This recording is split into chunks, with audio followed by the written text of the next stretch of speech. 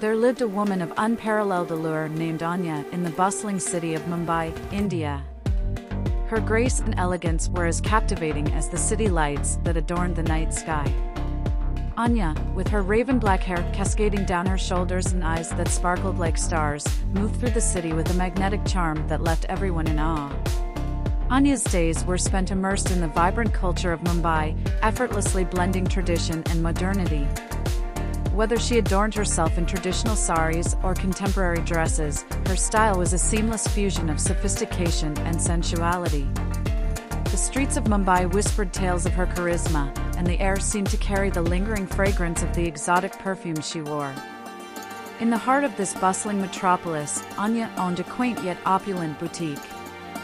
The boutique, named Mystique Elegance, was a reflection of Anya's refined taste and exquisite sense of fashion. Women from all walks of life sought her guidance, drawn not only by the allure of the boutique but also by the magnetic presence of its owner.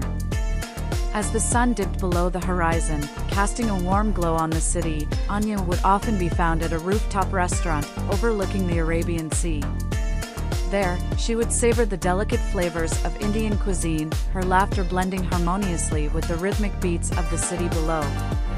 Mumbai, with its chaotic energy and vibrant spirit, provided the perfect backdrop for Anya's story of allure, elegance, and the enchanting dance of life.